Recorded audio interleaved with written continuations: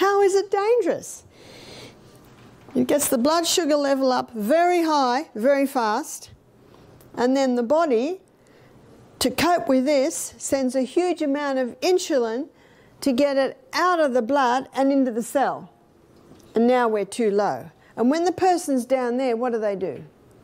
I have another bit of sugar, is that right? So you get this whiplash. And what's happening now, pancreases are wearing out far too soon. And then children are being born with weakened pancreases. There's really the, the true pandemic on the planet is heart disease and diabetes, wouldn't you say so? That's, that's the true pandemic. They're, they're the number one killers. And it's sugar.